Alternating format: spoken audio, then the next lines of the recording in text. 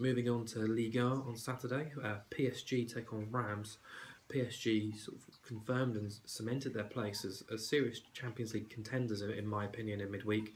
A very esteemed display when beating Chelsea 2 1 in Paris. They looked very good and, and sharp in attack, and although they did look uh, a little troubled by Chelsea's counter attack, I thought they were deserved winners too, and they should uh, seal the deal in the second leg. Back to domestic duties though, and they're, they're in the midst of a, a record breaking Liga uh, run at the moment 35 games unbeaten, 31 of those have been victories. Uh, you'd expect them to comfortably win again on Saturday against Reims. Real Madrid, the only team to beat them this season, uh, and across the last 23 games, they've won 21, drawn 2, lost 0. At home, they've been equally as devastating too, especially in Liga.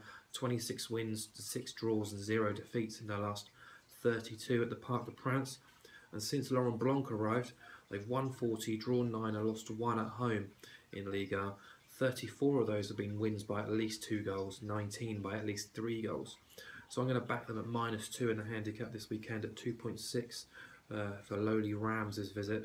They've won 2, drawn 4, and lost 4 of the last 10.